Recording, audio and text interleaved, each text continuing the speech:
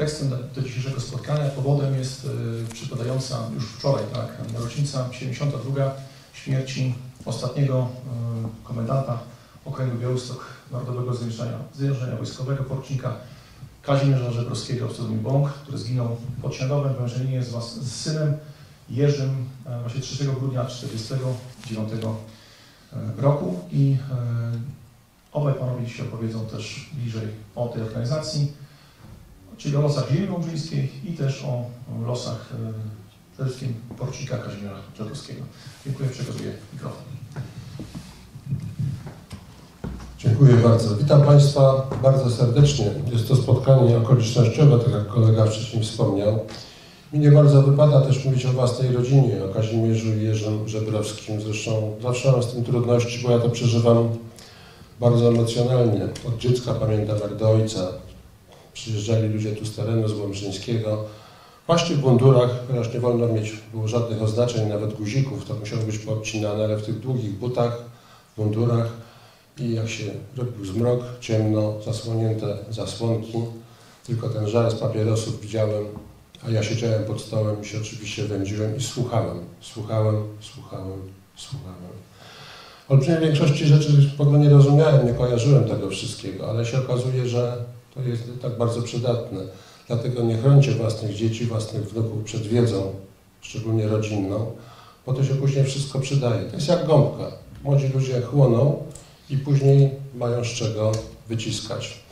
I pod tym ciężarem, pod tym brzemieniem tych postaci, ale także ich środowiska, ich żołnierzy, nielicznych bardzo, którzy przeżyli, siedzieli po 10-15 lat w więzieniach, wychowywałem się w zupełnie innej atmosferze. Nie w takiej Polsce jak moi koledzy w klasie, w ogóle nie rozumieli, co ja do nich mówię, pewnych rzeczy w ogóle nie znali. Ja mówiłem o Katyniu, a oni tak jakby nic nie mówili. Później na koniec ósmej klasy w szkole podstawowej dostałem od kolegów książkę z dedykacją nauczycielowi historii w tym wieku. Mam to do dzisiaj, bo to jest szczególnie cenna pamiątka. Nie z okazji ukończenia którejś klasy, ale właśnie tego, że coś jednak pożytecznego starałem się w życiu robić. I tak od tych zainteresowań rodzinnych zacząłem później dochodzić do wiedzy o organizacji, w której oni działali. Dlaczego ta organizacja powstała, dlaczego tak działała, dlaczego tyle lat po wojnie istniała, mogła istnieć, mogła mieć oparcie w terenie, a przecież wiedza naokoło, na zewnątrz była całkowicie inna. Do dzisiaj gazeta, której nazwy więcej tu się postaram nie wymieniać, wyborcza, lansuje taki pogląd, że to wszystko było niepotrzebne, że to byli ludzie, którzy mieli jakieś niezdrowe emocje, mogli przecież wyjść, ujawnić się, zapisać się na studia, założyć rodziny i byłoby wszystko dobrze. Tak? No proszę bardzo, proszę jakieś przykłady. Kto wyszedł, ujawnił się, nic mu się nie stało, rodziny nie represjonowali. Taki przepiękny przykład postaci, której nam zabrakło po wojnie. To jest symbol, bo to jest symbol pokolenia. To jest porucznik Jan Rodowicz Anoda. Żołnierz Armii Krajowej, działacz Szarych Szeregów, uczestnik akcji pod Arsenałem, później Powstanie Warszawskie, kilkakrotnie ranny, odznaczony Virtuti Militari, krzyżami walecznych. Cała rodzina, przepiękny ród Rodowiczów. I on ujawnił się w 1945 roku. On był inwalidą z powstania, nie mógł już działać, nie mógł być czynny, ale z tymi tradycjami rodzinnymi, to wybitna profesor, profesorska rodzina, specjalizacja nauk technicznych, chciał robić to, czego nie dane mu było robić podczas wojny, podczas okupacji. Zapisał się na Politechnikę i w 1948 roku, 24 grudnia, w Wigilię, został aresztowany i zaledwie po dwóch tygodniach strasznego śledztwa zakatowany na śmierć. Mógł działać? Proszę bardzo, to jest przykład. I drugi taki bardzo znaczący i bardzo znamienny. To jest generał August Emil Fildorf, bohaterski dowódca Kedywu, Komendy Głównej Armii Krajowej. W 1945 roku wywieziony przez Sowietów na Syberię, nierozpoznany, dlatego przeżył. Później, gdy z Syberii wrócił, postanowił się ujawnić, wrócić do rodziny. On już wiedział, że nikogo z jego otoczenia nie ma. Ludzie albo już nie żyli, albo siedzieli w więzieniach. Nieliczni przedostali się za granicę. Już miał swoje lata, kilka lat rozdźwięku, nie miał łączności z rodziną, nie wiedział, co się dzieje. Poszedł i się ujawnił, jako polski generał. Co z nim zrobili? Powiesili go na Mokotowie jak pospolitego przestępcę. To był właśnie ten wybór drogi w porozumieniu z partią, dla partii, Nowa Polska Ludowa, budujemy nowy dom. To jest gazeta, której nazwy tu wymieniać nie będę. Kłamią, naokoło kłamią. I tragedią naszą jest to, że od tych 30 lat, tych wielkich w niektórych zakresach rzeczywiście zmian, nie ma do dzisiaj czegoś takiego jak spójna polityka historyczna, nie ma czegoś takiego jak wychowanie obywatelskie. Wychowaliśmy, może nie my, ale dochowaliśmy się takich pokoleń, takich roczników, które wychodzą na ulicę, bluzgają, mówią, że patriotyzm to jest rasizm, że nie są w ogóle Polakami, nie chcą nimi być. I to nie mówią tak od siebie, tak spokojnie, ze złością, ze zdecydowaną złością, z nienawiścią do własnego kraju. Dlaczego? Właśnie dlatego. Przed wojną nauczyciel miał autorytet. To było normalne, że zabierał swoich uczniów gdzieś do lasu na uroczysko.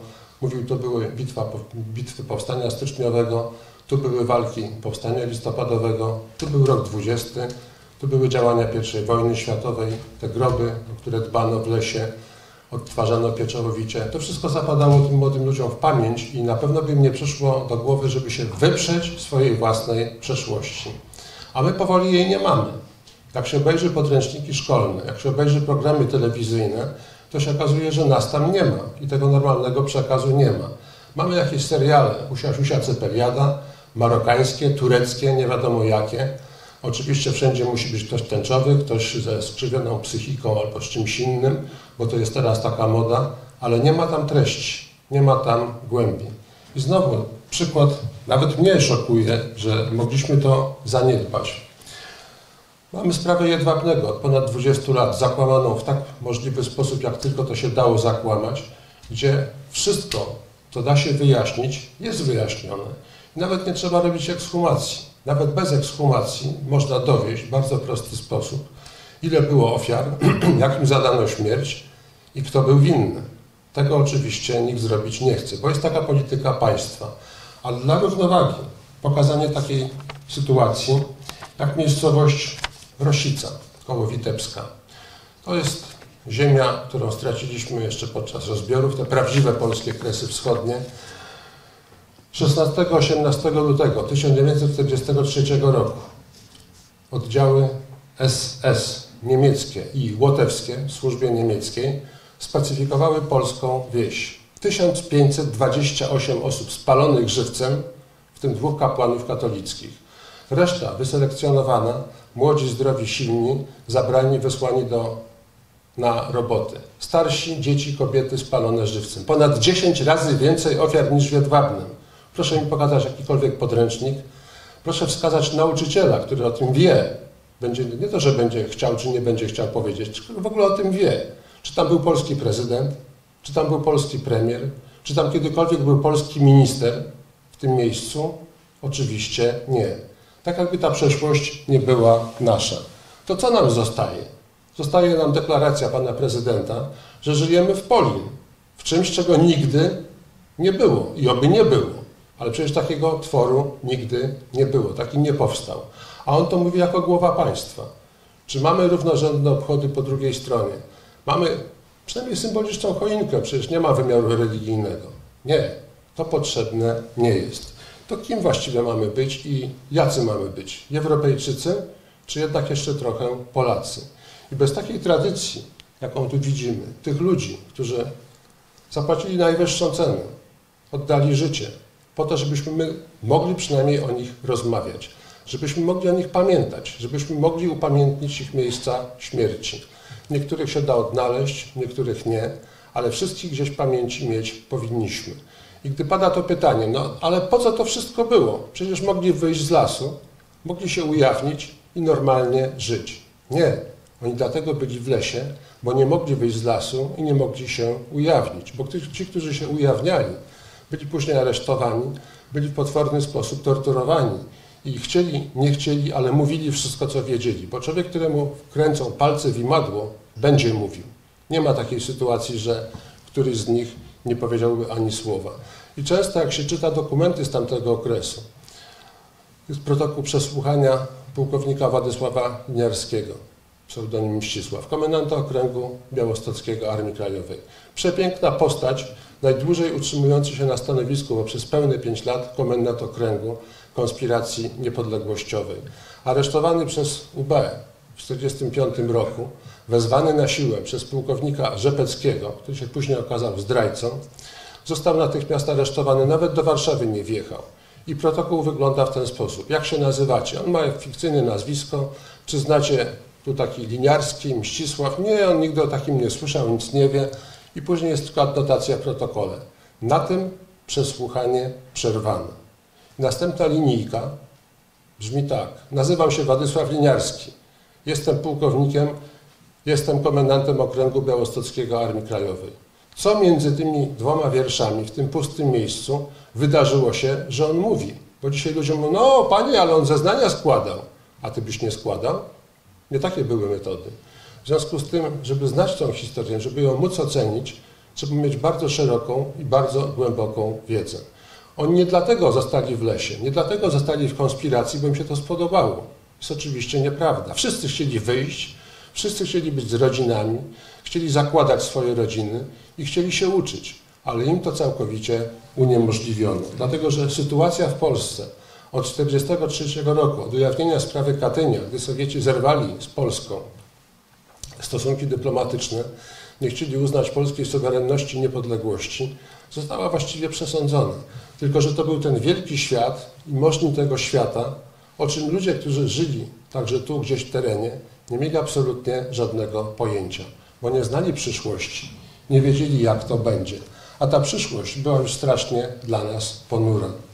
Gdy 3 września 1943 roku kardynał Francis Spellman, arcybiskup Nowego Jorku, delegat ówczesnego papieża Piusa XII na rozmowy z prezydentem USA w sprawie polskiej usłyszał słowa, które nigdy nie powinny paść. To było wyjaśnienie sytuacji, ale to były rozmowy poufne, one nie były drukowane, to nie było publikowane, nikt o tym nie wiedział. A gdy zaczęły się te słuchy po sprawie katyńskiej, że Sowieci idąc ze wschodu nie mają zamiaru uszanować polskiej suwerenności, niepodległości, nie mają zamiaru uszanować polskiej granicy, papież zaniepokojony postanowił zapytać u źródła najmożniejszego człowieka tamtego świata, prezydenta Stanów Zjednoczonych, Roosevelta. I kardynał zadał mu to pytanie. Kraj o tysiącletniej tradycji, kraj, który był ostoją Europy, bronił od południowego wschodu. Europa mogła się bogacić, mogła się rozwijać, mogła handlować niewolnikami, mogła sobie za to zakładać kolonie, mogła wyniszczać całe ludy, eksploatować całe kontynenty, bo to Polska dawała na kresach daninę krwi. I teraz tej Polski ma nie być, a prezydent USA odpowiedział kardynałowi tak. Ludność wschodniej Polski marzy, aby stać się Rosjanami. Oni wiedzieli wcześniej i wiedzieli lepiej, czego my chcemy. Jest to oczywiście nieprawda, szczególnie w tych terenach, gdzie w latach 40-41 w tych czterech potwornych wywózkach łącznie z Polski wywieziono prawie milion ludzi na Syberię, z których część nie wróciła, część została później rozproszona po całym świecie, tak jak moja rodzina. Większość z nich nie wróciła już tu na, na miejsce. Oni nie chcieli być Rosjanami. Dlatego właśnie był ten opór. I gdy przez kilka lat konspiracji w okresie okupacji niemieckiej polskie podziemie rosło, rozwijało się, później wydawało się, że w naturalny sposób, tak jak w krajach zachodnich, wchodzą armie alianckie, kraj jest wyzwolony, ludzie wychodzą na ulicę i płaczą, ale płaczą ze szczęścia, że koszmar wojny, okupacji się skończył, że nareszcie będzie normalnie. To tu w Polsce ludzie płakali, ale z tego powodu, że jest gorzej niż na początku. Bo wtedy jeszcze była nadzieja, że coś się wyjaśni, coś się zmieni. A tu tę nadzieję traciliśmy. I nastąpiły podziały. Całe polskie podziemie zostało przewartościowane.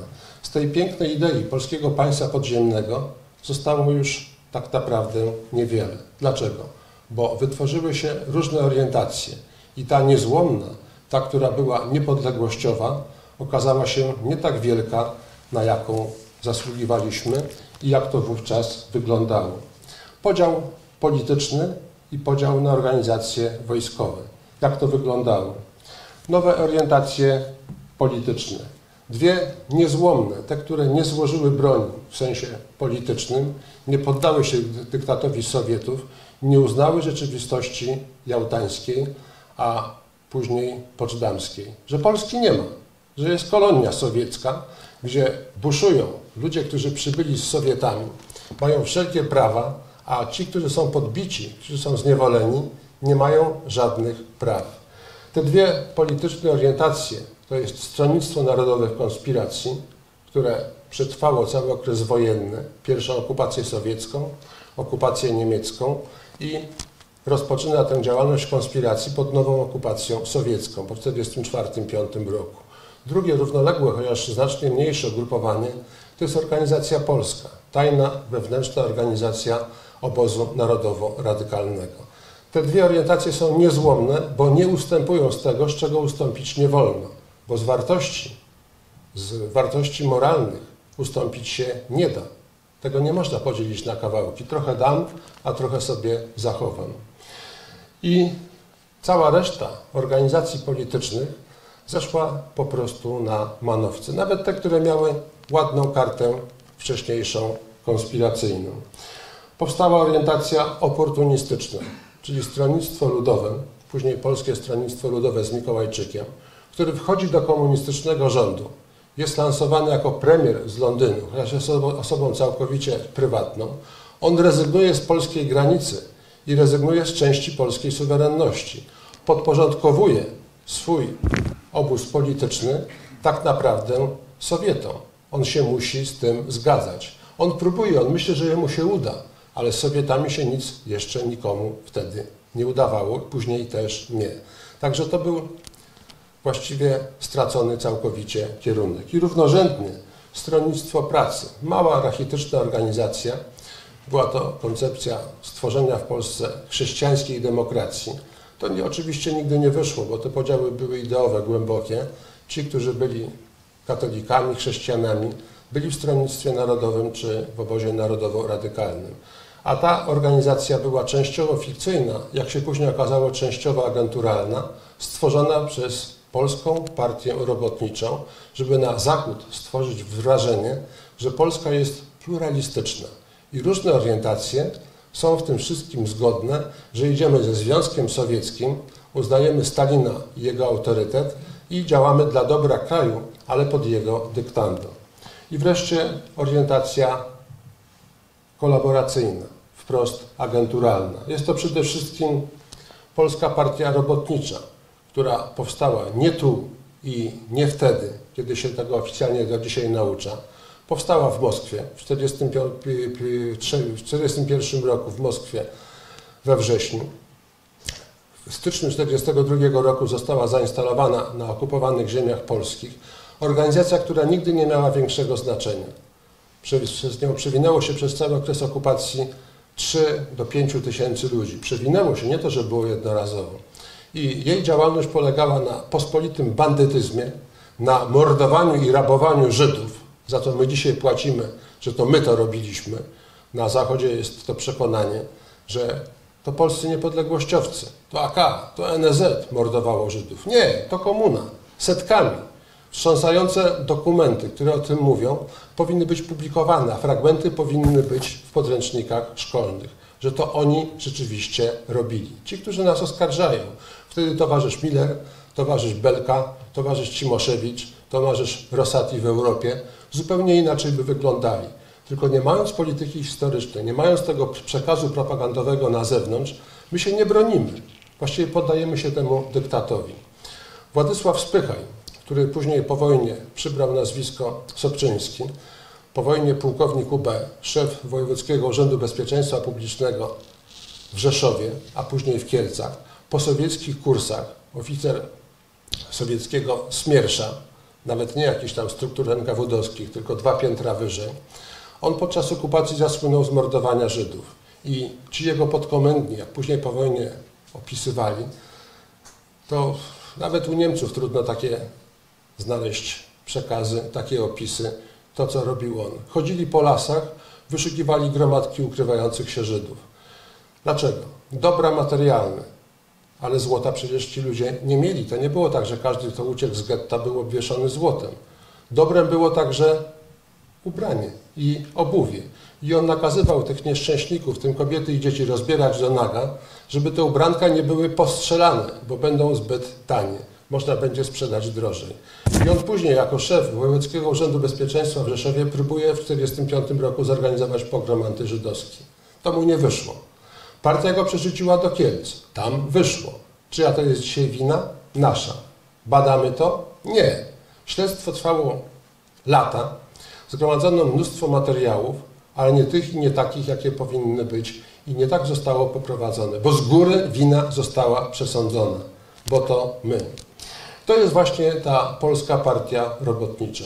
Zbrodniarze, współpracownicy Niemców, jedyna organizacja rzekomo konspiracyjna na terenach okupowanej Polski, która weszła w kontakty z Niemcami i razem z Niemcami przeprowadzała akcję przeciwko państwu podziemnemu.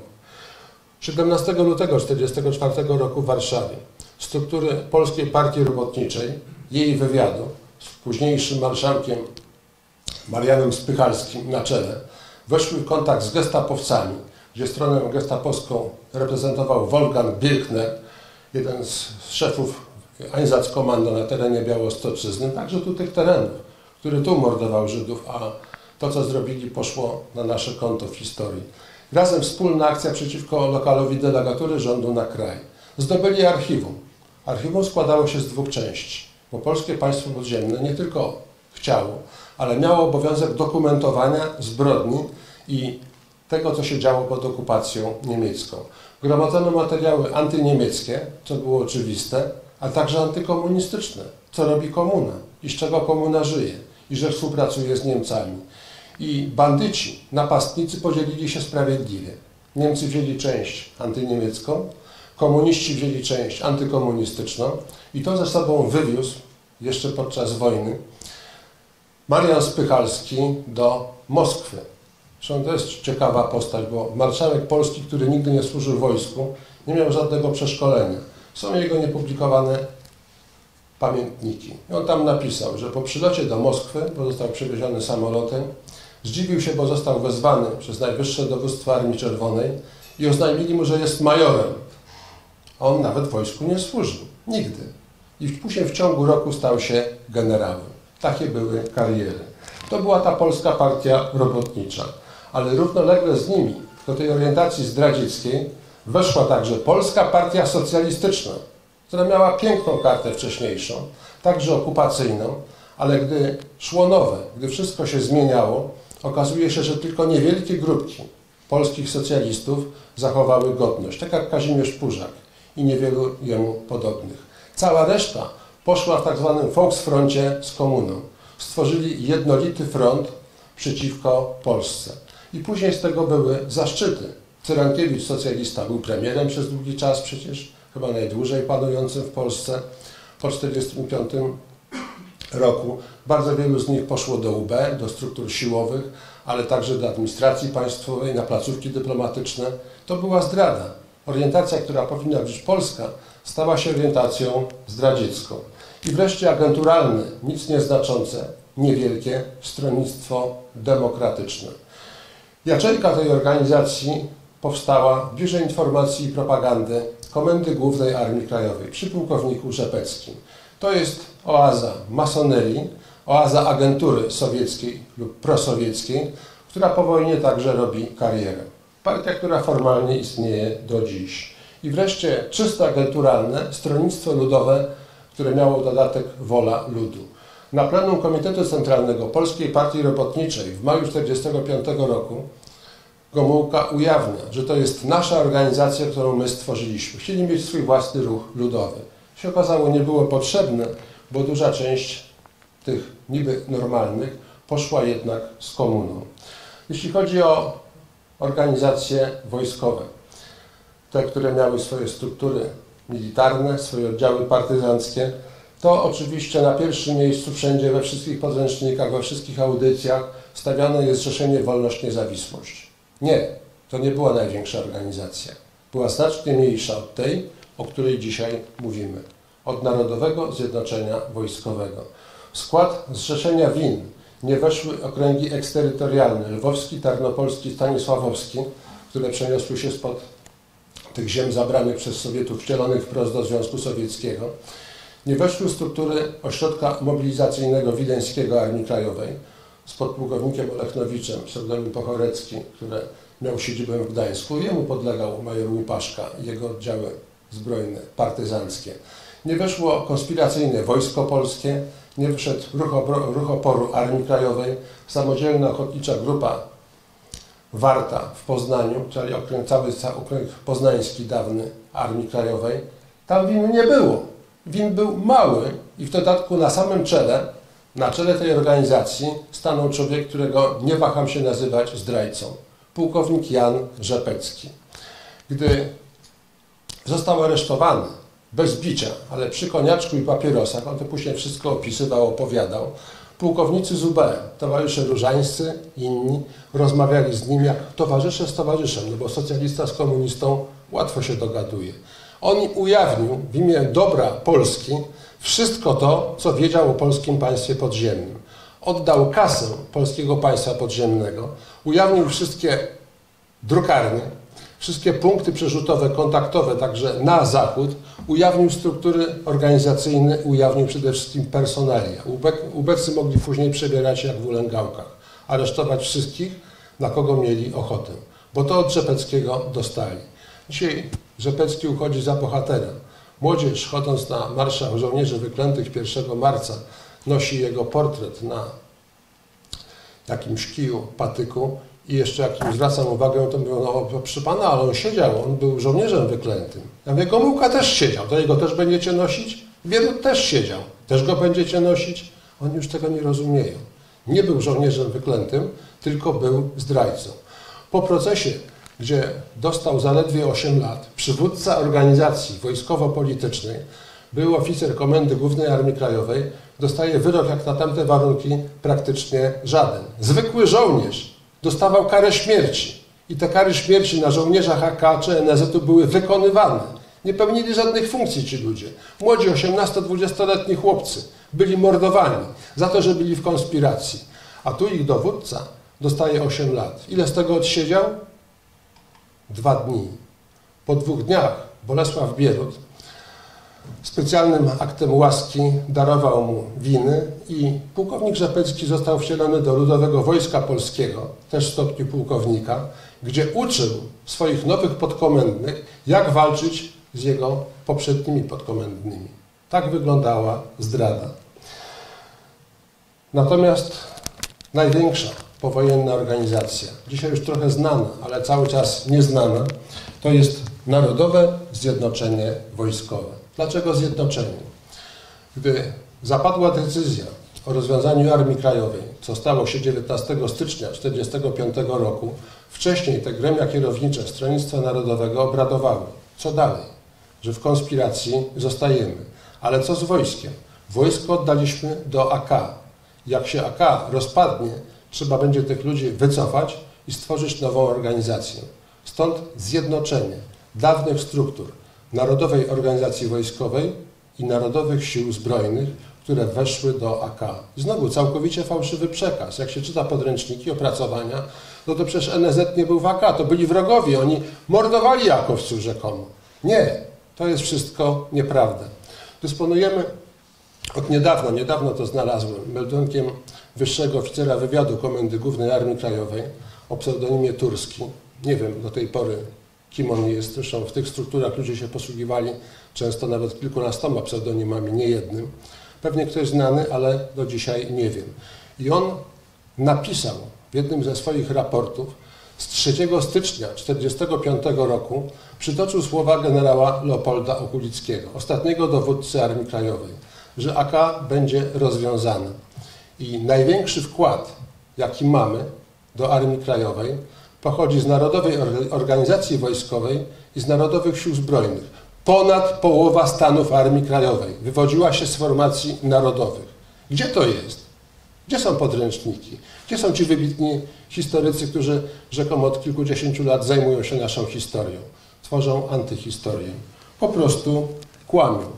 Dlaczego ta konspiracja musiała być i dlaczego była taka silna? Przecież powstał nowy rząd, tymczasowy rząd jedności narodowej, właśnie z Mikołajczykiem. Przedtem rząd tymczasowy. przedtem jeszcze PKWN. Wszystko formacje czysto komunistyczne. A Stronnictwo Narodowe powiedziało nie.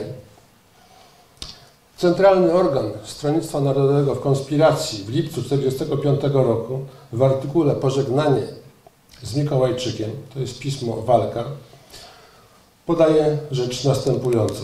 Mikołajczyk nie dorósł do roli wodza narodu, na jakiego wielu go przedwcześnie pasowało.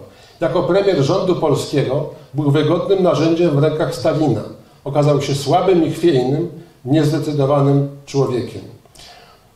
I obecnie dołączył do agentów moskiewskich, aby z nimi jednym głosem piać hymny pochwalne na cześć, na cześć Józefa Stalina. I wreszcie mamy poza krajem polski rząd na wychodźstwie z nowym premierem, już po Mikołajczyku, z Tomaszem Marciszewskim. Mamy Komitet Zagraniczny Stronnictwa Narodowego, przedstawicielstwo stronnictwa tam, działa tam jawnie, tam nie musi konspirować. Jest cały czas łączność z krajem. I właśnie o tym rządzie Tomasza Aciszewskiego Stronnictwo Narodowe pisało tak. Rząd ten uratował honor narodu i ciągłość prawną państwa, a przez to stworzył warunki do dalszej walki. Bo tu już walka być musiała, ale też nie tak, jak jest przedstawiana. W głupich serialach, filmidłach chodzili z tą bronią po lesie, strzelali do wszystkiego, co się rusza. Nie, nieprawda. Oni mieli konkretny cel. Polska na konferencji w Poczdamie w 1945 roku dostała gwarancje, jak się później okazało, całkowicie nieprawdziwe, ale oni tego nie wiedzieli, że będą przeprowadzone w Polsce wolne wybory. Co to znaczy wolne wybory? Czyli takie, które nie będą kontrolowane przez siłę narzuconą. Jak można oprzeć się kontroli? Mieć właśnie swoje własne struktury. Skoro nie możemy działać legalnie, działamy w konspiracji. Mamy swój pion zbrojny i swój pion polityczny. Jak dojdzie do wyborów, będziemy mieć możliwość stosowania własnej propagandy. Po to była ta konspiracja. A celem bezpośrednim walki z komunistami nie była walka z Armią Czerwoną, z armiami pancernymi, z dywizjami. To przecież byłby bezsens. Ludzie z karabinami, z bronią lekką. Sensem tej walki była przede wszystkim ochrona ludności cywilnej przed pacyfikacjami. Przecież te grupy operacyjne NKWD szalały w terenie. Cały 45, 46, jeszcze na początku 47 do tak zwanych wyborów 47 roku, teren Polski jest pacyfikowany nawet nie tyle przez UB i przez KBW, bo ich rola jest mniejsza, tylko przez grupy operacyjne NKWD, które mordują, palą, gwałcą, robią co chcą w terenie. Ludzie są bezbronni. Dobrze, młodzi, zdrowi mężczyźni uciekają do lasu, idą do partyzantki, a kobiety, dzieci, a osoby stare bezbronne. I wszędzie tam, gdzie ta konspiracja powstała, gdzie ta konspiracja była, gdzie mogła chronić ludność cywilną, to na ogół walki z grupami operacyjnymi UB i NKWD były zwycięskie.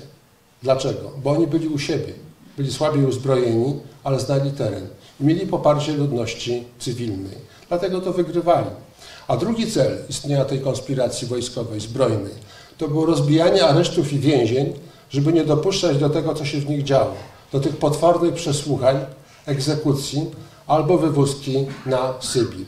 I tylko w 1945 roku polskie podziemie rozbiło ponad 100 więzień i aresztów UB, uwalniając tych nieszczęśników.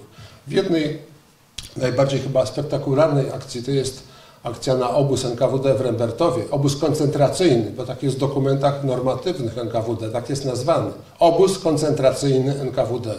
I teraz już może się ludzie trochę przyzwyczaili, jak kiedyś o tym mówiłem, to było, panie, ale to jak pan tak mówi, przecież obozy koncentracyjne to były, były u Niemców, a później nie było. Nawet tego nie wiedzą, że były. Było przynajmniej kilkanaście obozów koncentracyjnych NKWD na ziemiach polskich. I największy z nich, właśnie w Rembertowie, został przez podziemie rozbity i ci jeńcy zostali uwolnieni. Kilkaset osób zostało ocalonych, uratowanych. Ale takich akcji w kraju jest ponad 100, tylko w 1945 roku. To jest właśnie sens działania podziemia. I ci ludzie nie są w konspiracji, bo im się tak podoba. Oni wiedzą, że są do tego zmuszeni, myślą, że to jest przejściowe i święcie wierzą w to, że jednak tę Polskę w jakiś sposób da się uratować. Najpiękniejszy rozkaz polskiego podziemia niepodległościowego, Komendy Głównej Narodowego Zjednoczenia Wojskowego, jaki znam, to jest właśnie ten, którego fragment Państwu zacytuję. On w całości, to jest pół strony, w całości powinien być, za, był, powinien być zamieszczony w podręcznikach szkolnych. Po co? Po to, żeby nie czytać głupich opisów, analiz, nie wiadomo kogo, tylko żeby ludzie czytali źródła, jak to było napisane w 1945 roku. Skąd się oni wzięli, czego chcieli i co nam zostawili w tym przekazie pisemnym. Pułkownik Tadeusz Danilewicz, drugi z kolei komendant główny Narodowego Zjednoczenia Wojskowego, pisał w tym rozkazie tak. Walka narodu polskiego o elementarne prawa bytu i rozwoju trwa nadal. Będzie ona ciężka i długa. Musi być prowadzona jak najskuteczniej i z najmniejszymi dla narodu stratami. Walka obecna będzie przede wszystkim walką polityczną, będzie się toczyć o to, co stanowi istotę narodu. O kulturę, religię, tradycję, o niezawisłość myśli i ducha polskiego. Będzie to walka z komunizmem i wpływami wschodu. Walczyć będziemy o każdą komórkę gospodarczą, społeczną, wychowawczą, a w szczególności o duszę młodego pokolenia. W walce tej wszyscy musicie wziąć pełny udział. Nie w walce zbrojnej, właśnie w tej walce o naszą tożsamość. Trwać ona będzie aż do uzyskania celów postawionych przed jej rozpoczęciem stworzenia suwerennego państwa polskiego ze wszystkich jego ziem, z granicami poszerzonymi na zachodzie i północy, zdolnego zapewnić nieskrępowane warunki rozwoju dla narodu polskiego. Czy tak mogli pisać bandyci, jakich komuniści nazwali, do dzisiaj są wyzywani? Czy to są rozkazy bandytów, czy to są rozkazy niezwykle prawych, ideowych ludzi? Bardzo łatwe do rozstrzygnięcia. Podziemie to narodowe szczególnie, w postaci Narodowego Zjednoczenia Wojskowego pozostawiło po sobie także rozkazy, odezwy, pisma dotyczące innymi wymiaru sprawiedliwości, oceny tego wszystkiego, co się dzieje. I komendant okręgu, major Mieczysław Grygorcewicz, później komendant obszaru, w skład którego wchodził okręg białostocki, w 1945 roku w takiej przepięknej odezwie opisał istnienie band pozorowanych, czyli to, co komuniści wypuszczali w teren, te grupy miały za zadanie niszczyć, mordować, palić, napadać, a to miało wszystko obciążać konto podziemia. On nakazuje to rozpoznawać i zwalczać. I pisze, że nieznane uzbrojone oddziały grasują w nocy po okolicach i w imię patriotyzmu pod grozą śmierci biciem nakładają na najlepszych Polaków wysokie kontrybucje lub grabią majątek rzekomo na cele podziemnej organizacji. Przy tym katują ludzi, bijąc dzieci i łamiąc ręce niewiastom. Są to najpospolitsze bandy zwyrodniałych opryszków, korzystające z tragicznych warunków narodowego życia, nie mające nic wspólnego z legalną armią podziemną. Dzisiaj już wiemy, że to nie byli zwykli bandyci. Było osiem rodzajów band pozorowanych, tworzonych przez komunistów. Te wzory zaczerpnęli jeszcze z rewolucji bolszewickiej i późniejszej wojny domowej o władzę na terenie Rosji. Te wzory zostały przeniesione na grunt polski. I to są świadome, celowe działania. Oni robią tak, żeby na zewnątrz, w propagandzie zewnętrznej, ludzie myśleli, że to robi podziemie. Wstrząsające fakty, jak na terenie województwa krakowskiego. W nocy nauczycielka, która jest w ciąży, nauczycielka języka polskiego, zostaje brutalnie zamordowana i przyczepiają jej kartkę do sukienki za to, że uczysz chamskie dzieci. I wstrząs w terenie. Ci bandyci z lasu mordują, rzeczywiście. No prosty przekaz, ludzie to zaczynają wierzyć. Przyjeżdża delegacja państwowa z fanfarami, z orkiestrą, odprawiają te wszystkie gusła komunistyczne. Reakcja zabiła wam nauczycielkę, widzicie kogo popieracie? I te sprawy wychodzą dopiero po kilkudziesięciu latach, że było zupełnie inaczej. Dalej major Grygorcewicz pisał tak. Podobne fakty są ponurym i najniebezpieczniejszym zjawiskiem społecznym, jakie należy najradykalniej zlikwidować, jeśli nie chcemy popaść w chaos i najstraszniejszą anarchię. Każdego więc, kto działając na własną rękę, bez wiedzy, zgody lub orzeczenia legalnych władz podziemnych, napada, terroryzuje, hańbi, kompromituje, szkodzi zdrowiu, ograbia Polaków, należy karać najsurowiej, jako największych zbrodniarzy według kodeksu doraźnych sądów wojennych. Ale też sztaby armii powinny pilnie czuwać i najsurowiej karać samych sędziów, którzy by pochopnie bez rozwagi i gruntownych motywów na podstawie nieuzasadnionych oskarżeń wydawali niesprawiedliwe wyroki. Tylko tą drogą można wprowadzić porządek i bezpieczeństwo wewnętrzne życie kraju. To jest podziemie bardzo etyczne. To podziemie ma swoich kapelanów. Nieformalnym kapelanem okręgu, okręgu białostockiego, Narodowego Zjednoczenia Wojskowego był ksiądz biskup Stanisław Kostka-Łukomski. Podobnie jest na innych terenach. Wszędzie ci ludzie są z kościołem. Są księża przy oddziałach partyzanckich. Udzielają sakramentu spowiedzi. Później idą do więzień za to. Po kilkanaście lat, po torturach. Cierpią razem z tymi partyzantami. Nie mieli broni w ręku. Krzywdy nikomu nie zrobili. Nieśli to, co było ich obowiązkiem, pociechę duchową. Płacili razem z nimi. I dzisiaj to się chce całkowicie rozerwać, pokazać tak jakby najgorszą z możliwych stron podziemia niepodległościowego. Stronę, której to podziemie nie miało. Zdarzały się różne oczywiście rzeczy, tak jak w naszym normalnym życiu, w najlepszej rodzinie zdarzy się złodziej, zdarzy się pijak, zdarzy się ktoś, kto bije kogoś bez powodu. To jest, ale to jest margines, a to nie jest reguła, to nie jest powszechne. I tak było wówczas. Ci ludzie żyjąc na tym wysokim poziomie etycznym dbali nie tylko o swój wygląd zewnętrzny, wystarczy na nich popatrzeć. Pamiętam, jak zrobiliśmy pierwszą wystawę w 1993 roku na Uniwersytecie Warszawskim. Pierwsza wystawa poświęcona żołnierzom wyklętym. I tam profesura ówczesna, chodząc, oglądając to wszystko, akurat stałem przy profesorze Tomaszu Strzemboszu przez chwilę i on tak patrzy i mówi tak, przecież oni wyglądają lepiej niż ówczesne wojsko. Tak, lepiej.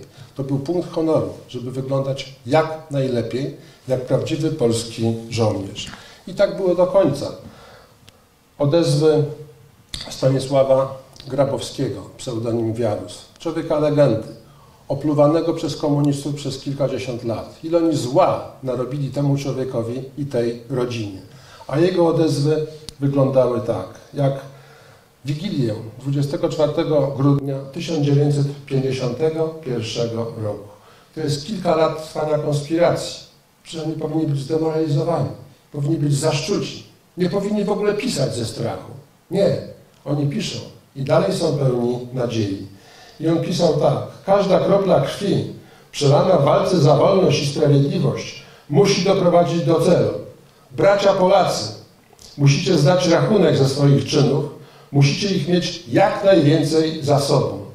Pomagajcie armii podziemnej, która bije się i krwawi do ostatniego żołnierza za wolność i niepodległość ojczyzny.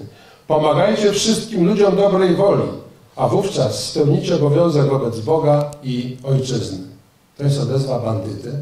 To jest postawa człowieka bardzo głęboko uduchowionego, któremu, tak jak mówię, zrobili krzywdę propagandową. Nie dość, że go zabili, to jeszcze go w tej opinii zewnętrznej, jak tylko mogli, pohańbili tą fałszywą propagandą. Ludzie wysokiej etyki, ludzie, którzy zdawali sobie sprawę z tego, już szczególnie w tych ostatnich latach, że z tej konspiracji wyjścia dla nich nie ma. Ale mimo to starali się jeszcze coś po sobie zostawić, coś bezcennego. Chcieli uczyć tych, którzy są w oddziałach, którzy nie chodzą do szkoły, a ten okres, cykl wychowawczy i edukacyjny został przerwany. Piękny rozkaz starszego sierżanta Witolda Sieczkowskiego, pseudonim Biały. To był komendant żandarmerii w okręgu Mazowsze, Narodowego Zjednoczenia Wojskowego, czyli północne Mazowsze. Odezwa grudniowa, 7 grudnia 1948 roku. Żołnierze, zbliża się zima, najgorszy dla nas czas. Wróg będzie starał się nas wyłapać, musimy się tak zabezpieczyć, aby wytrwać. Wiosna przyniesie nam ulgę, dlatego że oni w zimę nie mogą się za bardzo poruszać, bo zostawiają ślady w lesie. Muszą przetrwać, mogą wyjść i działać dalej na tym szerokim froncie dopiero z wiosną. Ale on prosi, wzywa swoich podkomendnych. Koledzy, starajcie się wykorzystać zimę na naukę, bo na wiosnę nie będziemy mieć czasu. I ci starsi, którzy mają więcej klas za sobą, uczą tych młodszych. Nie przeżyją, ale może komuś się uda. A jeśli tak, to żeby te lata nie były całkowicie stracone. I tę odezwę kończy w ten sposób.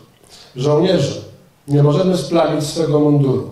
Nasz mundur musi być tak czysty jak perła. A przyjdzie dzień, w którym wyjdziemy z lasu i każdy nas zobaczy. Każdy będzie chciał iść za nami albo dłużej przy nas postać. To jest alegoria. On wie, że nie wyjdzie i wie, że jego ludzie nie wyjdą. Wyjdą inaczej. Tak jak teraz my ich tu ujawniamy, jak wychodzą raz, wraz z nami i wiedza o nich staje się wiedzą dostępną i powszechną. Każdy z nas będzie chciał dłużej przy nich postać. I chcemy. Ja wolę być z nimi, wolę być ze swoimi krewnymi, ze swoimi przodkami, niż tymi, którzy ich mordowali, napadali przedtem, zabrali pół Rzeczpospolitej w 1939 roku, później całą Polskę zniewolili na rzecz komunistów, a dzisiaj mówią, że oni są światli i Europejczycy. I Euro tak, i Pejczycy tak, ale razem to się jakoś nie łączy. I do tego musimy pamiętać, że oni ten przekaz po sobie zostawili. Wiedzieli, że nie wyjdą, ale chcieli, żeby pamięć o nich wyszła. I te ostatnie odezwy, już z lat 50., są takie, że oni apelują do polskiego rządu, nie mając już z nim łączności, zostawiając to tylko w archiwach. I proszą o pamięć, żeby ta pamięć o nich została zachowana.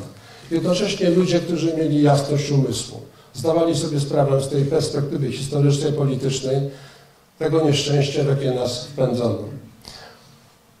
Organ OKO to było pismo Komendy Głównej Narodowego Zjednoczenia Wojskowego. Artykuł z 15 kwietnia 1946 roku. Artykuł napisany przez szefa sztabu tej organizacji, kapitana Jerzego Pilacińskiego, pseudonim Lech. On jeden z nielicznych z Komendy Głównej przeżył, udało mu się przedostać za granicę. Zmarł w Kalifornii w latach 80. Ten artykuł we fragmentach brzmi tak. Obraz Polski obecnej to niewola w masce wolności. Daje się nam kukłę wypchaną walką klas, grabieżą połowy obszaru Rzeczpospolitej, okupacją obcej policji, cynicznym rabunkiem gospodarczym, całkowitą deprawacją warstw nieuświadomionych politycznie. I może przyjść taki moment, że nigdy już nie potrafimy podnieść się nawet na poziom odpowiadający latom 1920-1925, czyli okres przed zamachem majowym. Nasze zadanie to zupełne zniszczenie wpływów obcych w narodzie. To sprzeciw służenia obcym interesom, obojętnie czy angielskim, czy niemieckim, czy sowieckim. My nie chcemy być narzędziem obcych polityk kosztem naszej ojcowizny i naszej krwi. Przepiękny przekaz, stale aktualny, który dzięki temu, że go mamy, pozwala nam na tych ludzi spojrzeć inaczej, jako na bliskich, jako na naszych, jako nie postaci ze zdjęcia, nie postaci z kilku zdań w podręcznika, ale jako na żywych ludzi, którzy gdzieś tu żyli, chcieli tego samego co my, może nawet bardziej niż my, bo mieli do tego prawo. I nie było im to dane. Więc teraz przynajmniej pamiętamy o własnych rodzinach, o własnych bliskich, o rodzinach sąsiadów, dalszych sąsiadów, bo oni byli wszędzie. Najsilniejszy okręg, a na terenie okręgu dwa najsilniejsze powiaty, to jest powiat Łomża i powiat Wysokie Mazowieckie. I gdy inne struktury konspiracyjne w latach 46-47 zostały całkowicie przez UB już porozbijane, oni trwali. Ostatnia komenda okręgu, tego okręgu, pod dowództwem porucznika Kazimierza Żebrowskiego, pseudonim Bąk, dotrwała do 3 grudnia 1949 roku. Komenda mazowiecka północnego Mazowsza dotrwała do 15 kwietnia 1951 roku. Komenda siedlecka do stycznia 1951 roku. Wiele lat po tym, jak innych już nie było, już byli albo wymordowani, albo siedzieli w więzieniach. Ostatnia komenda powiatowa Narodowego Zjednoczenia Wojskowego na terenie tego okręgu, ale też terenu, na terenie całego kraju, nigdy wcześniej nie ujęta przez komunistów, ujawniła się we wrześniu, w październiku 1956 roku.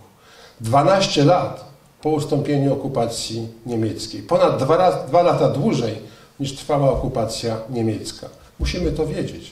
Musimy wiedzieć nie tylko jako pamiątkę po tych ludziach, ale wiedzieć także na przyszłość, że trzeba myśleć historycznie. Historyzm jest to cecha rozumowania gatunku ludzkiego, która polega na tym, że wyciągamy wnioski z przeszłości, Zwierzę nie wie, zwierzę nie myśli, żyje tu i teraz, ale człowiek mający rozum i wolną wolę musi korzystać z doświadczenia, właśnie z historyzmu. I my z tego korzystamy. Dziękuję bardzo.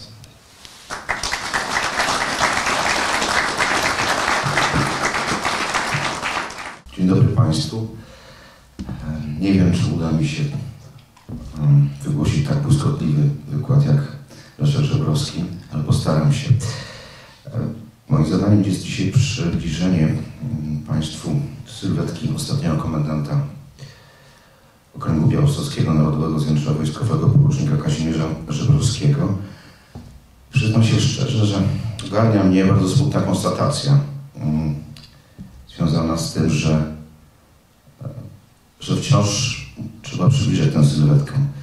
Się zdaję sobie sprawę z tego, że mm, nie ma jak dotąd, niedługo będzie, ale ani jednego, ani jednego tekstu naukowego poświęconemu bądź co bądź e, komendantowi największego, najliczniejszego i najbardziej bojowego okręgu największej organizacji konspiracyjno-bojowej podziemia antykomunistycznego, czyli NZW.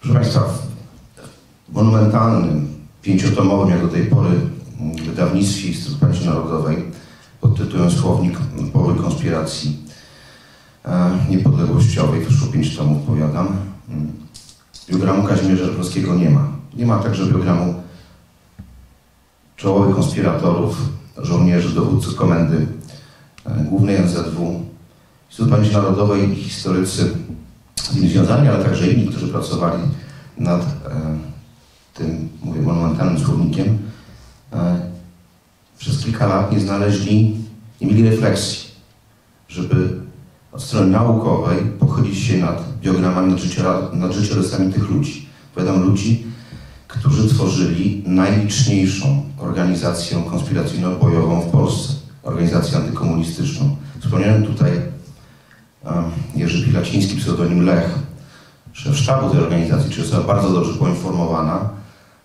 swoich też nieosiągalnych w Polsce wspomnieniach wydanych za granicą, wskazywał, że w NZW w drugiej połowie 1945 roku było 80 tysięcy żołnierzy.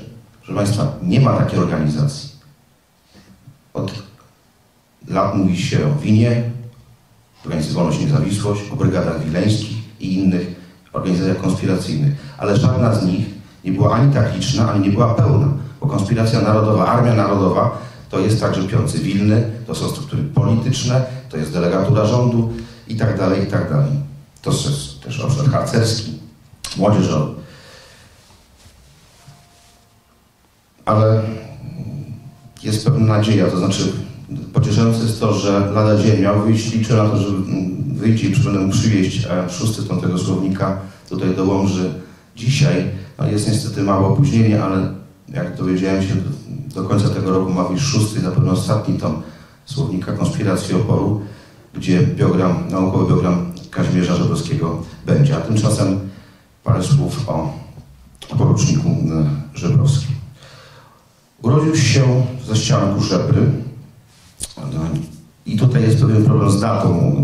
Otóż e, pojawiają się dwie bardzo, albo, albo 14 marca 1901 roku, albo 4 marca.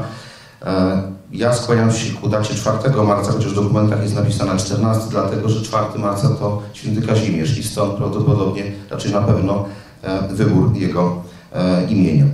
Tak jak już powiedziałem, za ścianku Żebry, urodził się za ścianku Żebry Wybranowo mm, w gminie Śniad, wtedy jeszcze w gminie Śniadowo, tak, w tej, w chwili już nie jest, nie jest miejscowością gminną, w rodzinie szlacheckiej, w rodzinie patriotycznej, miał w rodzinie powstańców styczniowych, był najmłodszy z czwórki rodzeństwa, był synem Tomasza i Marianny z domu Szabłowskim. Uczęszczał najpierw do szkoły za ścianku Żebry, a potem do e, szkoły powszechnej e, już w Zambrowie. Po ukończeniu e, nauki odbyła służbę wojskową w szeregach 33 Pułku Piechoty w ziemi łomżyńskiej właściwie. Pracował w biurze WKU, a później w jednostce żandarmerii i jako żandarm 33 pułku, jednostki żandarmerii 33 pułku piechoty został w 1939 roku zmobilizowany e, do walki o obronę Polski, e, do walk z Niemcami.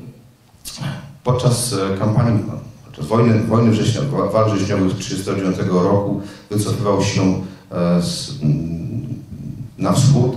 Dzięki, obecno, dzięki obecnemu na tej sali e, e, Derkowi Sylińskiemu wiemy, to jest informacja od niedawna, że gdzieś w okolicach Białowieży rozeszedł się z, ze swoimi kolegami, z którymi się wycofał na wschód, czy bardziej, południowy wschód i gdzieś, może w tej okolicy, a może, a może już tam na terenach polskich, wpadł w ręce sowieckie, dostał się, dostał się do niewoli, nawiasem mówiąc, mała dygresja, e, musiał mieć sporo szczęścia, dlatego że e, wiemy, że wschodnie gminy powiatu właśnie Hajnówka, Siemiatycze, powiatu Bielsk Podlaski i dalej e, w- wrześniu 1939 roku były ogarnięte taką irydentą rewolucją lokalną, e, komunistyczną, zresztą z dużym udziałem ludności miejscowej ludności biało- białoruskiej, która wyłapywała te, te bojówki czy bandy, można powiedzieć, miejscowe wyłapywały cofających się samotnie żołnierzy Wojska Polskiego i ich okrutnie e, mordowały, bądź w najlepszym wypadku przekazywały w ręce organów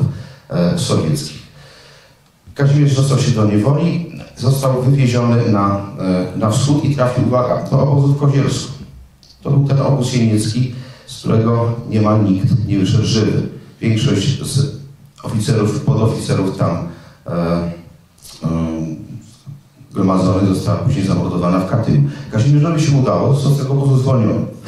E, Pomógł to pewien przypadek i, i bardzo dobra wola polskiego kolejarza.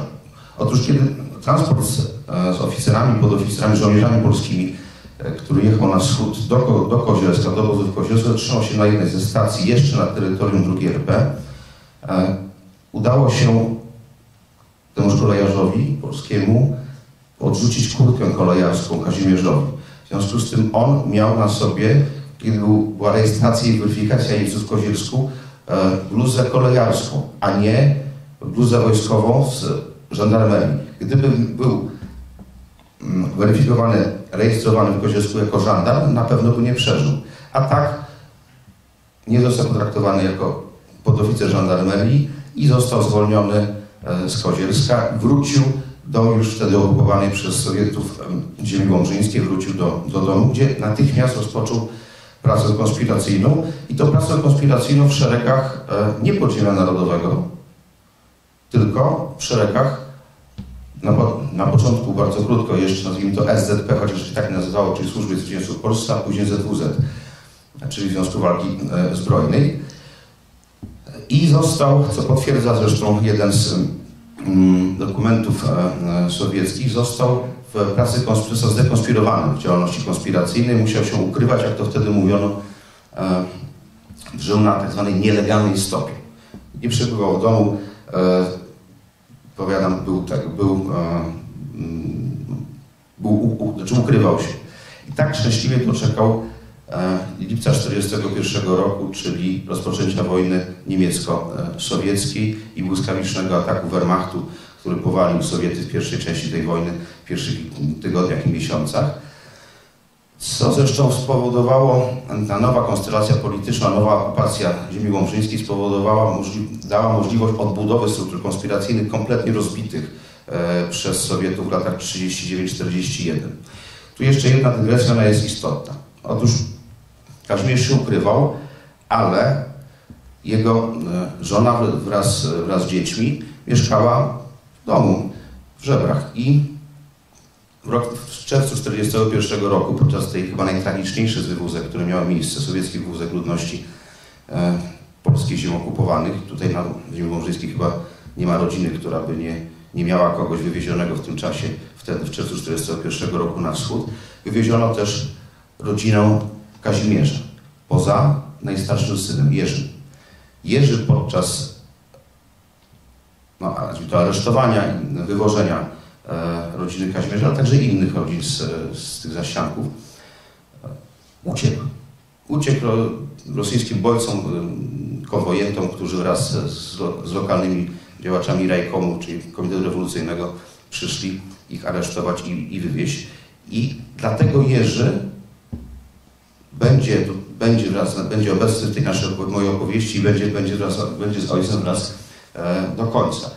E, Przyda nieco fakty, ale e, rodzina szczęśliwie przeżyje zesłanie i wraz e, z armią generała Andersa opuści Sowiety via Persja, ponieważ to są małe, nieletnie, pani Władysława Złomozorowska, żona Kazimierza, znajdzie się przez pewien czas w koloniach brytyjskich w Afryce, gdzie nawiąże kontakt listowny z Kazimierzem, który już po 1945 roku, który będzie cały czas tutaj w konspiracji. E, Via te kolonie brytyjskie zostaną później, cała ta rodzina zostanie mm, mm, przeniesiona, prze- znajdzie się w Australii, gdzie zresztą członkowie tej zacnej, pięknej rodziny, e, nie wszyscy, ale żyją e, do, do dzisiaj.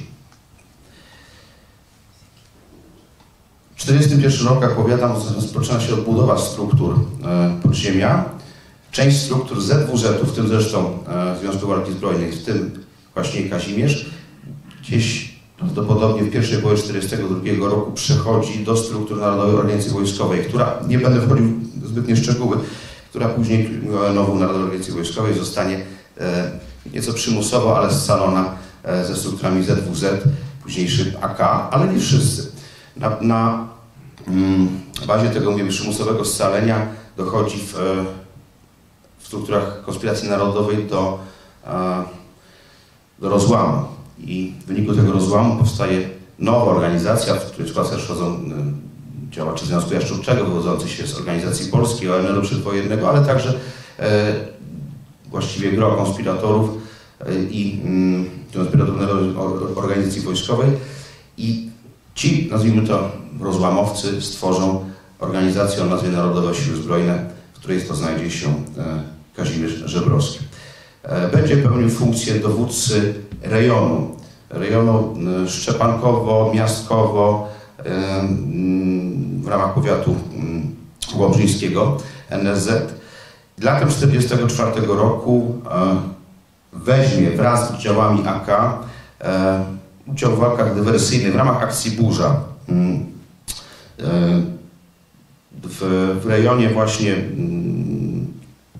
bardziej Nowogrodu, tutaj może tak, w walkach dywersyjnych z cofającymi się e, Niem, Niemcami, powiadam wraz ze strukturami akoszkimi, pod, będąc pod komendą zgrupowania, w tym czasie krótkim zgrupowaniu partyzanckim porucznika Józefa Siaka, pseudonim Saka, który będzie występował w akcji Burza jako to zgrupowanie jako pierwszy batalion 33 Pułku Piechoty Armii Krajowej. E, Latem 40, późnym latem 44 roku front tutaj na tym obszarze się ustabilizuje, mówię o froncie sowiecko-niemieckim i będzie e, ten front e, na, w, tym, w tym rejonie na Narwi, niżej na Wiśle będzie trwał aż właściwie bezczynnie walk, walk przesadnych nie będzie niemiecko-sowieckich, będzie to trwało aż do stycznia 1945 roku. W tym czasie na terenach, gdzie jest Armia Czerwona, jednostki frontowe Armii Czerwonej, właściwie żadna działalność do wiosny mm, czy późnej zimy 1945 roku, żadna działalność konspiracyjna już tym bardziej była u was niemożliwa. Nie ma po prostu wioski czy zaścianka miejscowości, gdzie nie byłoby, e, powiadam, e, gdzie- nie kwaterowaliby żołnierze e, sowieccy ze swoim sprzętem. Mówię, jest to strefa ściśle, ściśle frontowa. I w tym czasie działalność konspiracyjna zamiera. Kazimierz Żebrowski też, jak wszyscy inni, jest zobowiązany do, rozkazem do tego, aby e, zejść do bardzo głębokiej konspiracji i po prostu przeczekać moment, kiedy ten front znowu e, się ruszy i będzie mm, ofensywa, e, nastąpi ofensywa sowiecka dalej na, na zachód. I Kazimierz Żebrowski zostaje aresztowany prawdopodobnie we wrześniu 1944 roku mm, przez Sowietów, chociaż wydaje się, że nie został rozpoznany jako konspirator. Y, Na pewno został aresztowany pod fałszywym nazwiskiem. Jednego, je- wiemy, że jedno z takich nazwisk, które używał, ale nie jedyne, to nazwisko Zwierzyński. Zostaje aresztowany i zostaje e, wysłany na wschód, gdzieś na wschód, skąd udaje mu się uciec, nie znam okoliczności tej ucieczki, udaje mu się uciec i e, z jednego z obozów, e, który był przetrzymywany przez Sowietów i e, wrócić, dojść, e, prawdopodobnie sporą część tej drogi odbywał pieszo dojść tutaj do domu znowu na e, ziemię łomżyńską. Prawdopodobnie wczesną wiosną, może już zimą 1945 roku e, Kazimierz Żebrowski przystępuje do, e, na nowo do działań konspiracyjnych w ramach nowej organizacji, o której było tu przed chwilą przez Leszka wiele mówiono, mówione, czyli Narodowego Zjednoczenia Wojskowego. E, Zostaje dowódcą trzeciej kompanii batalionu za rzecz NZW. Mm, Później jest to pełniąc obowiązki szefa Wydziału Pierwszego, czyli organizacyjnego w Komendzie Powiatu Łomża, o kryptoninie Podhale. Później zostaje dowódcą batalionu, e, w- batalionu o kryptoninie Burza, e, mm, w komendzie, już, no, pod Komendą Powiatu Łomża. Później jeszcze uznano nieco fakty, będzie komendantem e, struktur e, KP, czyli Ko- Komendy Powiatu Wysokie Mazowieckie, Łomża, Ostrów Mazowiecka, struktur e, Półtuski, a Nostatry, aż w końcu od 1948 roku po śmierci pułkownika Władysława Żwańskiego, pseudonim Błękit, zostanie ostatnim pełniącym obowiązki komendanta Okręgu III Białystok Narodowego Zjednoczenia Wojskowego. Dlaczego mówię PO, czyli pełniący obowiązki? Dlatego, że w tym czasie, proszę Państwa, jest już struktury krajowe Narodowego Zjednoczenia Wojskowego, struktury centralne są kompletnie rozbite aresztowaniami. I nie ma wtedy już tej struktury e, centralnej, nie ma żadnej łączności w związku z tym i mówimy, że pełniący obowiązki, bo już nie ma kto wydawać e, rozkazów powołujących e, oficerów na stanowiska dowódców okręgów czy wyżej obszarów. Ale powiadam, to przydziłem troszeczkę, e, troszeczkę fakty. W każdym razie mm, e, działalność e, Kazimierza, działalność bojowa jest dosyć, jest, jest bardzo aktywna, jest bardzo aktywny, jest bardzo, można powiedzieć, jest bardzo imponująca. Tylko kilka przykładów. Mm, Otóż tak, wymienię kilka akcji zbrojnych, w których brał udział bądź dowodził. W maju 1945 roku dowodził akcją rozbicia posterunku EMO na stacji kolejowej w Łomży. Zdobyto wówczas sześć e, karabinów, duże, e, dużą, dużą ilość sztuk amunicji. W sierpniu tego samego roku przeprowadził udaną zasadzkę na grupę operacyjną KBW między Śniadowem a e, Ratowem.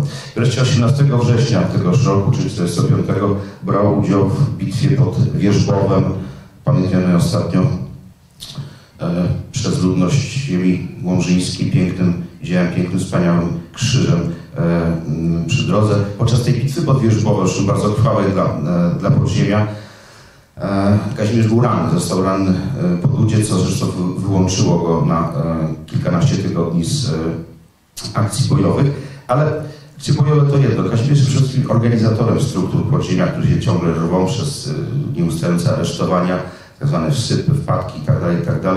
Te struktury mozolnie odbudowuje. Jest przede wszystkim organizatorem, jest konspiratorem. I y, jest osobą o niewątpliwie dużym autorytecie, nie tylko tu na terenie y, stricte Wałbrzyńskiego, ale także innych y, dalszych powiatów, którym, nad którymi w końcu weźmie, przejmie dowodzenie, powiadam, aż będzie to teren ciągnący się od Wysokiego Mazowieckiego na wschód od Wysokiego Mazowieckiego, a aż po Półtusk, prawda, z, z tej strony Kolno i mm, Zambrów w, drugą. Także mm, będzie, miał, będzie miał swoją pieczę nad oddziałami, które i konspiratorami, którzy aż, aż z północnego Mazowsza, od północnego Mazowsza po e, już prawie, że e, wschodnie powiaty e, ziemi białostockiej. Nie uda mu się tylko nawiązać struktur z, z komendą powiatu Bielsk, e, Bielsk Podlaski, a także resztkami właściwie tam te struktury zostały zupełnie rozbite w międzyczasie komendy powiatu e, Sokulskiego. W 1947 roku zostaje mm, awansowany na stopnia porucznika ze starszeństwem. Dokładnie jest to e, z datą 7 sierpnia 1947 roku. I gdy polegnie w Mężeninie, e, w Mężenin 3 grudnia 1949 roku, e, będzie e, stopniu porucznika. Trochę żal nawiasem mówiąc, że nie został nigdy oznaczony, znaczy awansowany poświętnie o stopień wyżej, co zapewne można, można było zrobić. Ale powiadam, to jest e, to jest kolejny taki, go- taka gory z mojej strony. Ona jest szersza, dlatego że proszę Państwa, ci konspiratorzy z podziemia narodowego, oni jak przez ostatnie dwadzieścia kilka, może nawet 30 lat, kiedy w ogóle zaczęła się odradzać, być kultywowana ta pamięć o podziemiu niepodległościowym, podziemiu antykomunistycznym, są cały czas marginalizowani, spychani na zupełnie inny, boczny, boczny tor, jakby, e, no odważnie to powiedzieć, jakby ta krew narodowa była, krew narodowców była gorsza niż krew Piłsudczyków, niż krew ludowców, czy, e, czy, czy innych. Rok 49 to już jest rok końcówki podziemia. Właściwie podziemie zaczyna się mocno kurczyć po, po, po roku 47, po, po tym kwietniu 47 roku, kiedy skończyła się tak zwana amnestia, kłamliwa amnestia, i, e, która miała doprowadzić, komunistyczna, miała doprowadzić nawiasem mówiąc tylko i wyłącznie do rozładowania lasów, do, mm, do tego, aby, aby ujawniono struktury podziemia. Tak się zresztą stało w dużym stopniu, bo ci, którzy zostają w konspiracji, zostają w podziemiu, jest już bardzo niewielu. Jest już nie bardzo niewielu, ale należy do nich Kazimierz, który e, zresztą wyraził to w- podczas tej tak zwanej e, mm, kłamliwej amnestii komunistycznej e, dla podziemia w 1947 roku, wyraził to w rozmowie ze swoim podkomendnym panem Dłużniewskim, jego relacja się zachowała, że on z tej z dobrodziejstwa tego kłamstwa nie zamierza korzystać i zamierza wytrwać w swojej walce aż do końca. I tak się stało. 49 rok, powiadam, jest to rok, rok bardzo trudny. Już te struktury są bardzo, ba- bardzo porozbijane, są operowanie, tworzenie poważnych, na wielką skalę akcji e, mm, bojowych jest właściwie niemożliwe, ale ci ludzie trwają, ci ludzie bronią ludności e, miejscowej, ludności cywilnej przed terrorem władz komunistycznych, przed terrorem organów komunistycznych. Niemniej są coraz bardziej osaczeni. Tak się dzieje też z Kazimierzem. On mm, jesienią 1949 roku ma wokół siebie, to znaczy jest, powiem to może to kolokwialnie, zainstalowane e, w jego sprawie operacyjnego rozpoznania co najmniej kilkudziesięciu agentów, którzy mają donosić o każdym, jeżeli tylko e, będą mieli jakąkolwiek informację, czy zobaczą Kazimierza e, gdzieś w terenie. I przez, I przez doniesienie jednego z tych agentów, Kazimierz Żebrowski, który przemieszcza się wtedy, mm, jest właściwie cały czas przy nim jego syn Jerzy, pseudonim Konar, e, w wyniku do doniesienia agenta o pseudonimie Kanarek, ja znam nazwisko tego człowieka i imię, ale nie będę go wymieniał z uwagi na to, że rodzina jest bardzo zacna e, i rodzina stąd, z ziemi małżyńskiej. Tenże agent e, donosi o tym, że mm, komendant Bąk wraz z Jerzym Żebrowskim, pseudonim Konar, przebywają na koloniach w miejscowości Mężeni. Natychmiast zostaje poderowana z Łomży grupa operacyjna e, UB i KBW, Korpusu Bezpieczeństwa Wewnętrznego, otacza zabudowania wsi Mężeni. Informacja agenta okazała się bardzo, em, bardzo precyzyjna.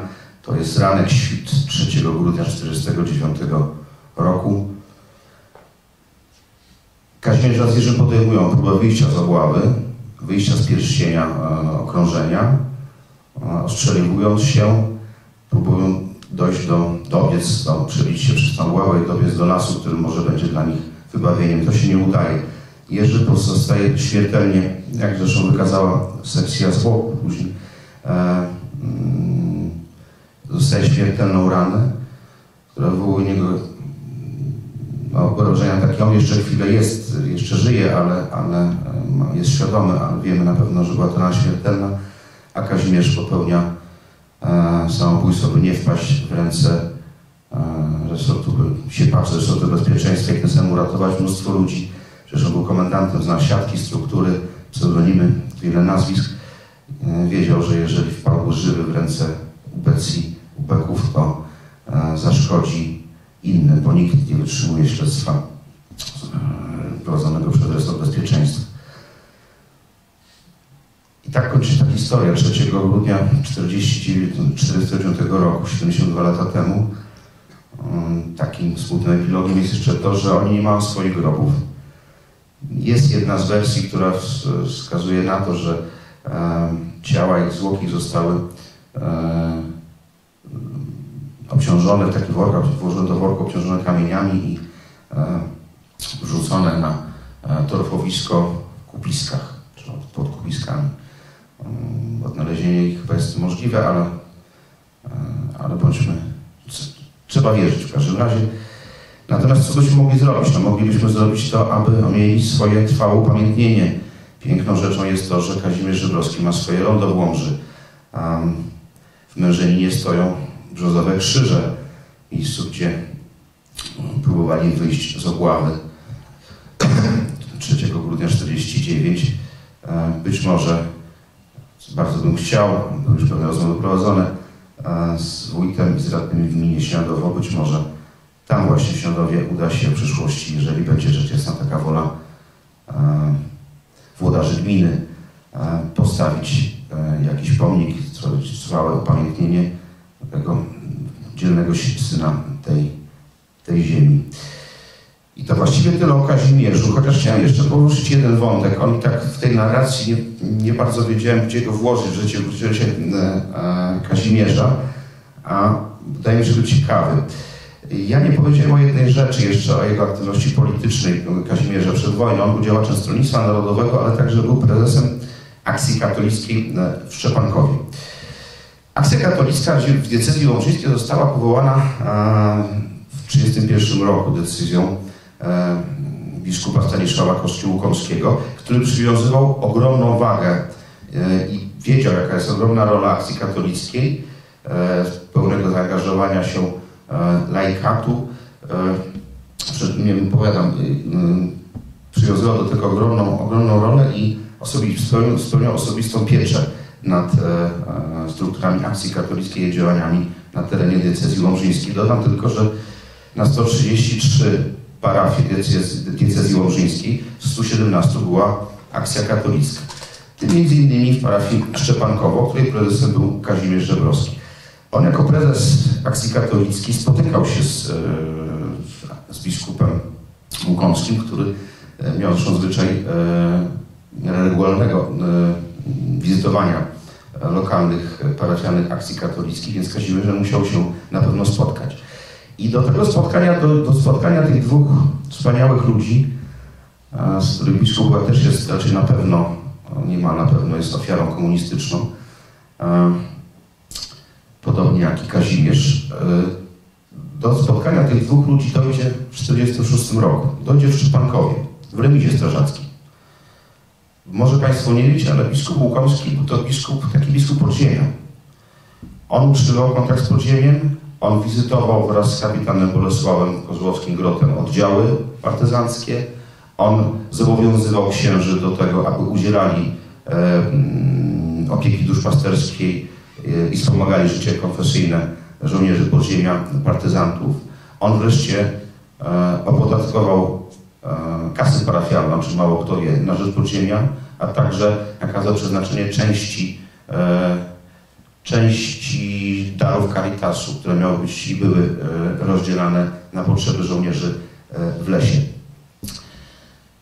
Biskup Łomski spotkał się z e, kierownictwem e,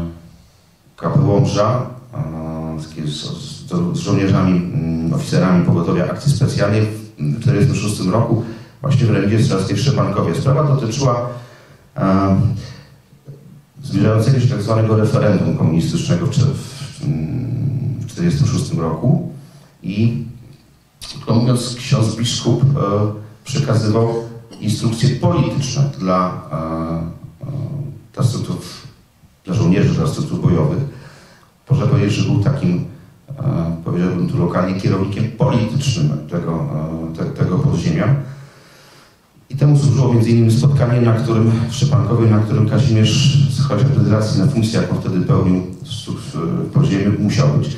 Spotkanie, spotkanie wiemy z kilku, z kilku źródeł. Po pierwsze, e, potwierdził w swoich zeznaniach podczas swojego śledztwa e, szef pogotowia akcji specjalnej, e, kapitan e, Romuald Rice Bury. Ale nie tylko. E, Wiemy to także z zeznań, e, wymienię tego nazwiska, może gdzieś, mo, może, pewnie tak, mie- mieszka do dzisiaj rodzina tego też dzielnego człowieka. Zeznań Czesława Wądołowskiego, żołnierza NZW, pochodzącego z Janowa. e, w, o, no, obok mm, Kubisek. Tak. E, Wiemy, że e, on zresztą to zeznanie swoje, e, ono jest dosyć obszerne, on dokładnie opisuje, co, jakie tematy były poruszane. A On nie był oficerem, natomiast e, był jednym z łączników między podziemiem a Pałacem Biskupim w. Podobnie jak zresztą jego e, współpracownicy z, e, mm, z tej samej siatki, z tej samej, z tej samej, z tej samej, z tego samego zaszczęka, mianowicie bracia Józef i Franciszek Hojnoscy, a także Czesław Opoński. Także to są, to, to są jedyne zresztą źródła zaangażowania mm, księdza biskupa Stanisława Łukomskiego e, w działania podziemia i wspierania tego podziemia. E, tak powiadam, e, to jest wątek poboczny, ale tak jak przed wojną Kazimierz widział się, spotykał się mm, z księdzem biskupem, tak wtedy nie mogli w latach 30 przypuszczać, w jak dra- dramatycznych okolicznościach będzie miało miejsce kolejne spotkanie w e, czerwcu 46, przepraszam, w marcu 46 roku e, w Szczepankowie. Proszę Państwa, to tyle z mojej strony. Bardzo dziękuję za uwagę. Także dziękuję bardzo za, za tutaj. mm, Tak, na jednym z tych zdjęć jest, jest e, Kazimierz Żerowski z synem, e, z, też z żołnierz, żołnierzami, to jest 47 rok, okolica Tabędza. Może doczekamy, aż to, to się przywinie. E, Także bardzo dziękuję. Tutaj, no chyba, że ktoś chce może jakieś pytania zadać, jakieś coś, co, co, co może przybliżyć, ma jakieś... E, Pan minister Czarnek stwierdził na wstępie swojego y, o- opinii z obejmowania swego urzędu, urzędu, że przywracać będzie pamięć historyczną. Dotychczas, szczerze mówiąc, jeżeli skromne, a może nawet żadne ślady tego przywracania, może by się ktoś z panów może zainteresował, może byłby łaskaw rozmawiać z panem ministrem, może on zapomniał, co robi, albo nie wie, co powinien robić. Dziękuję bardzo. Dopóki nie będą zniszczone struktury wydziałów oświaty, kuratoriów oświaty, tych centrów nienawiści, gdzie są pisane, projektowane i zatwierdzane podręczniki, to minister sobie może mówić, a oni będą robili w szkole to, co robią. Proszę się zapoznać z podręcznikami, co tam się dzieje. Także teraz. Mówię, minister może mówić swoje, może chcieć, a oni będą organizować strajki kobiet w klasie. I on będzie bezradny. Dlaczego? System prawny. Im wolno. Wszystko. Nie, nie, nie, nie, nie. Oni robią bardzo dużo w tej chwili. Te zmiany są przygotowywane, ale żeby to weszło nagle, szybko i żeby to było takie, jak my chcemy, będzie trzeba rozbić wszystkie instancje domowe. Związek Nauczycielstwa Polskiego to jest zabytek komunistyczny z jego szefem. Wydziały Oświaty, Kuratoria Oświaty, nie wiem, czy ktoś z Państwa miał kiedykolwiek kontakt z tym. Nie radzę, nie życzę, ja to musiałem przejść, bo córka miała w szkole problemy i jak się zjawiłem w kuratorium, mówiłem jaka to sprawa, to jego interesowało tylko jedno. Imię, nazwisko i szkoła, że on to załatwi. I załatwił mi córkę, rzeczywiście. Więc na szczęście tego uniknąłem. Nie da się tego zrobić tak, jakbyśmy chcieli. Ale chcemy, żeby to zrobić. I temu akurat ministrowi życzę jak najlepiej, żeby mu się udało. Nawet część tego, żeby zrobił co chce. To już byłoby coś. akcja burza była potrzebna? Czy to nie było czasami em, wykrwawianie polskiego żołnierza? To jest trudne pytanie, ale e, ono do dzisiaj budzi wśród historyków wiele e, skrajnych, powiedziałbym, refleksji i postaw. E, ja powiem od siebie. To znaczy, ja uważam, że w sytuacji, zresztą znanej z kierownictwu podziemia, znanej, znanej e, rządowi naukowcy i politykom, sytuacja, która wydarzyła się w Teheranie, w konferencji teherańskiej, była znana Polakom przynajmniej kręgom politycznym. Więc podejmowanie akcji burza po Teheranie, jeszcze przed Jałtą, ale po Teheranie, po 28 listopada 1943 roku, informacja, która doszła do e, o ustaleniach teherańskich była znana bardzo szybko, zarówno w Londynie, jak i Warszawie. Więc w tym kontekście politycznym uważam przeprowadzenie akcji burza za wręcz szkodliwe, a na pewno nieskuteczne. No to, to się przekonaliśmy. Tylko uzupełnię na chwałę, na chwałę Komendy Okręgu Białostockiego Armii Krajowej, że to był praktycznie jedyny obok okręgu nowogródzkiego, okręg AK, który tej akcji nie wykonał. Pułkownik Liniarski, gdy dostał takie dyrektywy z Komendy Głównej AK, żeby taką akcję przeprowadzić, zażądał od komendanta głównego Armii Krajowej, żeby przedstawił konkretne dowody, że stanowisko sowieckie się zmieniło, że polski rząd nowy nie ma gwarancji nienaruszalności granicy, suwerenności, niepodległości Polski.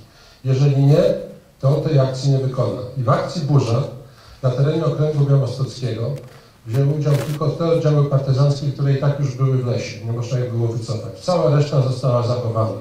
I dzięki temu, że okręg nie został rozbity, nie został ujawniony, po tak zwanej, po, po tym wejściu bolszewików i po akcji Burza, w okręgu pozostało ponad 30 tysięcy żołnierzy, oficerów AK w stanie prawie nienaruszonym.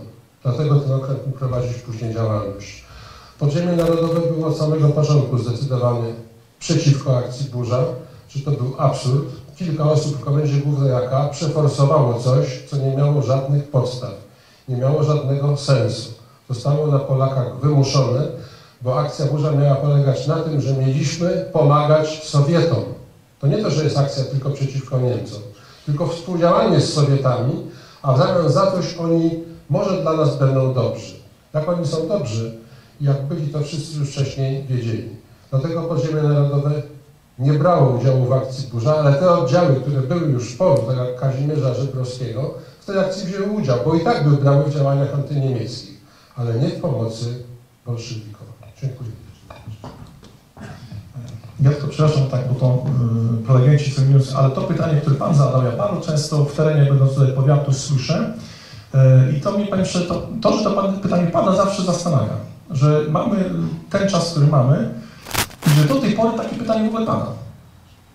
Nagminnie. Po co oni po tej wojnie w ogóle się bili? No jest to tak logiczne. Z drugiej strony 45 rok, proszę mu wierzyć. Ja mam wiele, wiele rozmów. Tutaj ludność tamtego czasu bardzo dobrze wiedziała, że przychodzi Sowiet, bolszewik, komunista i wszystkim zabiorą ziemię. Za chwilę, następnego dnia będą zrobione, czy chcesz, czy nie chcesz, kołchozy, w których będziesz niewolnikiem na własnej ziemi przez pokolenia, przez pokolenia dziadki, pradziadkowie, no całe pokolenia wychowały się, ta ziemia tak urodziła, wychowała, Yy, ciężka praca na tej ziemi, za chwilę jej nie będziesz miał, będziesz na niej ją uprawiał, ale będziesz jako niewolnik na tej ziemi. I to walka szła o to. Ci ludzie naprawdę po wojnie, nawet prości na wsiach, to wiedzieli, że idzie walka o własność ziemi, o to, żeby nie zostać niewolnikiem. I to nie było, że ktoś później chce jakimś wykładem robić piosenki, śpiewać święto, że ktoś będzie miał. To po prostu chodziło o uchowanie prywatnej własności ziemi. Każdy to rozumiał. Gwarantuję własną głową, bo porozmawiać z tymi ludźmi, naprawdę, yy, oni to wtedy bardzo dobrze rozumieli. I ci chłopcy z tych zdjęć, setki tych chłopaków z tych oddziałach w powiecie łomżyńskim, wszyscy to bardzo dobrze rozumieli. I ci, którym pomagali, karmili ich, co było dla ludzi bardzo obciążające następnego dnia. Oni potrzebują zjeść, następnego dnia przyjeżdża OB, które aresztuje za to, że ktoś dał komuś, temu partyzantowi zjeść, tak? Ale w tamtym czasie ludzie naprawdę rozumieli. Po 45 latach komuny, propagandy odcięto ludziom to rozumienie tego zagadnienia. W tamtym czasie gwarantuję Panu, że ludzie wszyscy tu w terenie ich wspierali, dobrze rozumieją o co chodzi. No bo wiadomo, po jakimś czasie przegrali, propaganda, związku z tym można było opluwać bezkarnie przez 45 lat. Przerażające. Niech Pan wierzy, na ziemi łomżyńskiej to, są, to jest historia nie setek, tysięcy rodzin. Wielu tysięcy rodzin, które wiedzą dla siebie, o sobie i z nikim o tym nie rozmawiają. Do tej pory to jest temat tabu. A, dla świętego spokoju lepiej mi poruszać. Zaszczucie ludzi tutaj na ziemi łomżyńskiej jest totalne. Pora naprawdę odzyskać dobrą pamięć o swoich dziadkach, pradziadkach. Są do tego podstawy godne i dajmy miałem w stoku papierów setki tysięcy stron. A opowieści powszechnie często bardzo drastyczne, no niestety okazują się po, w pracy papierem bardzo często powieściami, plotkami, legendami. Biorąc dokumenty, nagle okazuje się, że nie za bardzo się czego wstydzić. A większość ludzi jednak do tej pory nie jest do końca przekonana, czy może powinni się wstydzić, czy może nie. Po prostu nie ma wiedzy merytorycznej, nie ma opracowań takich rzetelnych, historycznych, regionalnych. Każda gmina powinna, powinna być opracowana, zrobiona. I proszę mi wierzyć, większość rodzin byłaby dumna swoich przodków. Wiem, co mówię. Dziękuję. Ja również mam pytanie, prośbę do panów prelegentów, aby zechcieli w kilku słowach, mm, może nie słowach, kilku zdaniach, mm, ale tak treściwie ustosunkować się do e, Powstania Warszawskiego. Powstanie Warszawskie jest e, co roku rozgrywane politycznie w mojej, w mojej ocenie, E, więc e, na temat e, sensu tego powstania i skutków tego powstania dla podziemia niepodległościowego. Chciałem jeszcze dwa słowa uzupełnienia tego, co powiedział Dariusz Szyliński. Ja może trochę nie, jeszcze jeden malutki wątek. Ja chyba nieświadomie trochę wywołałem tą akcję burza, e, mówiąc o tym, że e, Kazimierz Żubrowski wraz ze, ze swoimi żołnierzami podkomendnymi w ramach większego zgrupowania pierwszego batalionu 33 Pułku Piechoty AK i wraz z akowcami brał udział w akcji burza. Z tym, że te działania, które oni prowadzili, to były akcje dywersyjne wobec cofających się Niemców, a nie akcje ujawniania się przed wkraczającymi e, bolszewikami. To tak gwoli ścisłości. I oni faktycznie się nie. Oni weszli do, mówię, do bardzo głębokiej konspiracji w momencie, kiedy front stanął na Narwie i na Wiśle, a Wierzy, tak? Żeby przeczekać. Jak front ruszył, to przystąpili do, do walki. I druga sprawa. Leszek mówił bardzo, bardzo mądre rzeczy, mówił właśnie o, o tym, co, co pokutuje do dzisiaj. O bandach, to właśnie uzupełnił teraz Dariusz Szczerniski, o, o tym, że ludzie mówią różne dziwne rzeczy. Oni są y, cały czas o kołach tej komunistycznej propagandy. Ale proszę Państwa, zdajemy sobie sprawę z jedną, jednej rzeczy. Jeżeli to byli bandyci, to dlaczego było tak silne wsparcie księży? Tak silne wsparcie kościoła? Zaprzysiężony żołnierz Narodowego Zjednoczenia Wojskowego, y, proboszcz parafii Szczepankowo, pa, y, ksiądz Kuciak, żołnierz NZW, proboszcz parafii Śniadowo, żołnierz NZW, znaczy konspirator, tak? Miastkowo, to samo. Możemy to mo- możemy, możemy mnożyć. To księże pomagali ban- zwyrodniałym bandom? Nie, proszę Państwa. Jak głęboko weszła w nasze dusze, nasze głowy ta okropna propaganda komunistyczna. Jak funkcjonuje, jak pokutuje to do dzisiaj. I jeszcze jedna sprawa. Oni pamiętali 39, ro- lata 39-41, nacjonalizację, robienie kołchozów i tak dalej. To wspomniał wielki żyjący już konspirator, u którego zresztą miała miejsce obława na Kazimierza Jerzego, to Filipka, wspaniały człowiek, który był zesłany w 1941 roku, w czerwcu 1941 i został zwolniony z łagru w 1945 roku. I on to mówił, jak przyszli do niego, czyli innymi Kazimierz, i mówią, że byłeś zaprzysiężony za pierwszego Sowieta, teraz odnowił przysięgę będzie u Ciebie placówka. I on miał wątpliwości. On się z tym nie krył. On już nie chciał. Po pięciu latach siedzenia w Rosji, łagach, rąbania drzewa, on nie chciał dalej brać udział w walce z konspiracji. On chciał być na swojej gospodarce i powiedział tak, ale jak zobaczyłem te kołchozy, zobaczyłem te sowchozy, zobaczyłem to, jak chłop jest niewolnikiem Rosji, to powie, i jak masz, i powiedział, i to ma być u nas teraz, to powiedziałem, trudno. No i poszedł do tej konspiracji, zapłacił za to wieloletnim więzieniem. O tym też się mało mówi, ale proszę Państwa, działania na tę skalę, działania podziemia prawdopodobnie uratowały Polskę przed kołchozacją, przed kolektywizacją, bo nie starczyło czasu. Zresztą wszędzie tam, gdzie było podziemie silne, tam albo była umiarkowana nacjonalizacja ziemi, kolektywizacja, czy właściwie kołchozacja, bo to jest szerszy, sze- szerszy termin, bo człowiek jest, nie tylko odbiera mu się jego narzędzia pracy, jego inwentarz, ale odbiera mu się także jego wolność osobistą. Nie wiem, czy Państwo wiecie, ale w kołchozach Sowietach nie można było bez zgody przewodniczącego kołchozu na przykład y, studiować albo pójść do szkoły średniej. On wydawał zgodę. Tak samo jak nie można było bez specjalnej przypustki szefa kołchozu oddalić się poza kilkanaście czy kilka kilometrów. Tak to wyglądało. Powiadam, bardzo możliwe, że podziemie doprowadziło do tego, że komuniści w Polsce nie zdążyli doprowadzić do kolektywizacji. Gdzie podziemia nie było, w Rumunii, na Węgrzech, w Czechach, pełna kolektywizacja. I do dzisiaj rolnictwo tam się nie podniosło. Na Litwie, w Łotwie, ale to były republiki sowieckie, gdzie też było silne podziemie. Dopiero po 50 roku zaczęli e, ludzi zapędzać do kołchozów. Zresztą przez system podatkowy, a to już zupełnie inny wątek. Dobrze, ja oddaję głos w sprawie Powstania Warszawskiego. Sprawy powstania nie załatwimy tu jednym, dwoma czy pięcioma zdaniami. Ja proponuję, że jeśli będzie taka chęć, ochota, chcecie Państwo, to spotkanie o powstaniu zrobimy. Każde tego typu wydarzenie, jak powstanie warszawskie i podobne, jest doświadczeniem niepowtarzalnym. To nie jest tak, że co roku, co 5, co 50 lat zdarzy się to samo. Nie. Ludzie, którzy wtedy do powstania poszli, to poszli dlatego, że chcieli. To byli tylko i wyłącznie ochotnicy. Ale trzeba było znać nastrój ulicy, miasta, co się wtedy działo. I gdy widzieli, gdy w tych ostatnich dniach lipca 1944 roku te tabuny żołnierzy niemieckich na furmankach, w brudnych, podartych mundurach, zarośnięci, nie tacy jak przedtem, że oni już uciekają, była ta chęć, żeby jednak zamanifestować w ostatniej chwili, kim jesteśmy. Oni nie wiedzieli, jak to się wszystko odbędzie. Dwa poprzednie powstania w Wilnie i w Lwowie trwały po 6 dni.